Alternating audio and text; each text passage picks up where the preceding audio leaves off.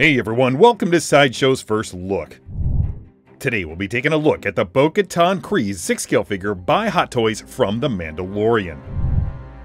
The box is a standard shoebox design. The front features a dark gray border cropped into an angular window framing an image of Bo-Katan on black, her helmet cradled in her right hand, exposing the details of the unhelmeted portrait included with the figure. The characteristic chrome Star Wars logo is partially obscured by the Hot Toys signature cigar band in the tones of orange, amber, and umber that we've come to associate with the company's Mandalorian line of 6-scale figures.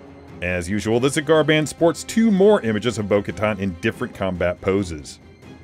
Removing the top of the box reveals the expected insert with a photograph of Bo-Katan engaged in combat with an Imperial Stormtrooper. Pulling out that insert reveals the figure in its clamshell. There's Bo-Katan in the center, surrounded by an assortment of accessories, including the swap-out portrait, two jetpack effects, an assortment of five additional hands, a grappling hook, two blaster pistols, a blade, and a comlink. Barely visible in the clamshell beneath Bo-Katan's legs is the figure's base, as well as the grip for the dynamic flight stand. A themed railing is also included, which can be attached to that stand to add some extra context to your display. Additionally, beneath that clamshell, you'll find a decorative backdrop to round out that whole look. Pulling the figure and its accessories out of the box gives us a better look at everything it has to offer. There's Bo-Katan in the center. On the right, you can see the unhelmeted portrait, the jetpack effects, the grappling hook, the Westar 35 blaster pistols, the knife blade for the right gauntlet, and the comlink. Over on the left are the assortment of five hands, including a pair of fists, a pair of pistol grip hands, and a hand for holding the comlink. Now let's take a closer look at the Bo-Katan figure. The helmet leaves an impression with its details and its combination of curves and sharp angles. The color varies subtly throughout the blue and white areas, punctuated by intricate scratches and chips that leave the impression of continuous conflict. Popping that helmet off of the double ball joint enables you to replace it with the unhelmeted portrait. It features an authentic likeness of actor Katee Sackhoff as Bo-Katan, with her auburn hair held back from her tanned face by her blue headband. No details left out, including Bo-Katan's forehead scar. The armor elements are highly detailed and are all affixed with Velcro to a bodysuit comprised of alternating panels of fabric and faux leather. Detailing on the armor is very fine, with multiple layers of paint broken up by realistic scratches, and the pauldrons feature the signet of the elite Mandalorian Nite Owls.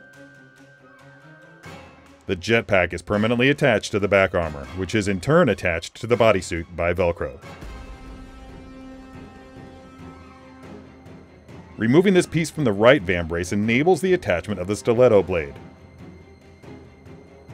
The belt is a faux leather material with sculpted buckles and loops from which descend the faux leather holsters. Moving down the legs, the poleyns are attached to the knees via elastic straps, while the greaves are attached with Velcro to a pair of faux leather spats which cover the top of the sculpted, highly articulated boots. Moving on to the articulation. The rangefinder on the helmet can move the required 90 degrees to put it in position to serve its function. The helmeted portrait can look down about 45 degrees and about 10 degrees up. It can also achieve about 15 degrees of tilt to either side. And can rotate a full 360 degrees if you desire.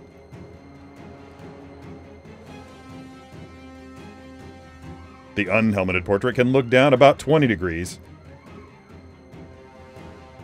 and about 15 degrees up.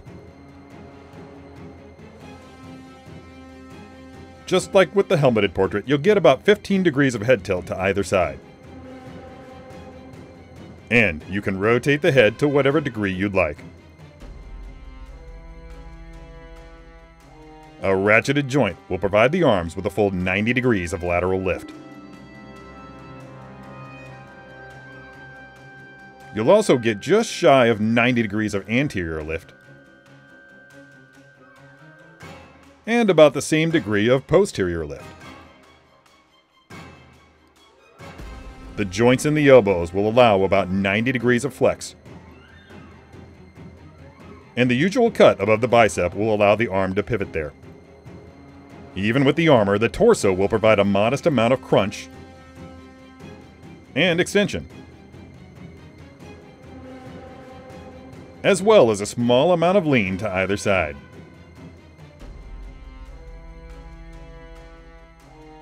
Additionally, there's enough play for a comfortable 45 degrees of torso twist. 45 degrees is the magic number with the legs, which will each achieve that degree of lift laterally, anteriorly, and posteriorly.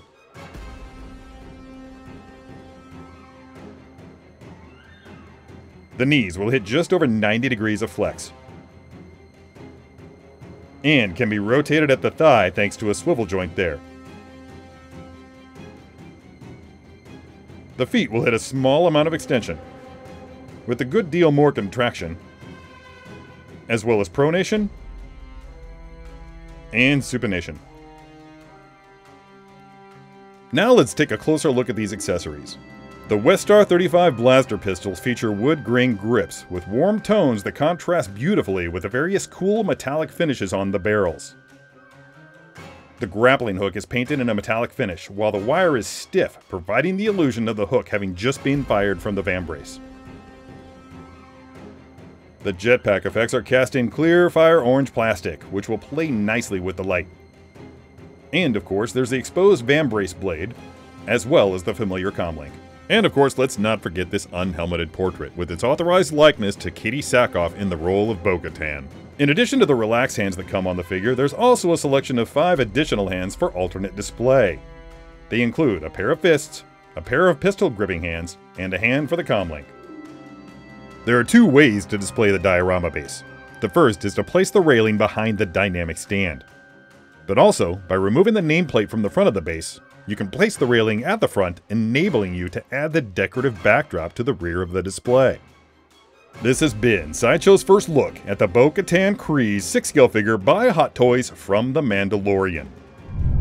Be sure to watch Unsealed and Revealed and How to Be a Poser for even more posable figure content. If you'd like more information about this figure, follow the link below. And, as always, don't forget to let your geek side show. Be sure to subscribe by clicking the S icon on your screen. If you'd like more information about the product featured in this video, click the link provided under product info.